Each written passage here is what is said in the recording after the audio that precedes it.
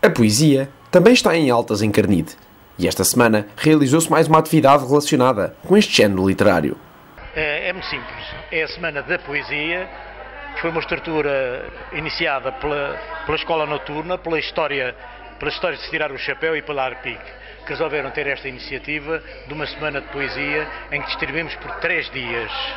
Foi no dia 10, dia 17, que é hoje, em que será exibido um filme, O Carteiro, do Pablo Neruda, e depois, digamos, como, como corolário disto, fazer poesia no Largo do Coreto. Uma atividade que está a ter grande adesão das pessoas e comerciantes do Centro Histórico de Carnide. Divulgámos pela freguesia em pontos um café, um restaurante, a peixaria, uh, poemas e convidámos as pessoas a que venham ler-nos esses poemas. Portanto, isto é uma comemoração simples, uh, de, a nossa, à nossa maneira, da Semana da Poesia e da Leitura.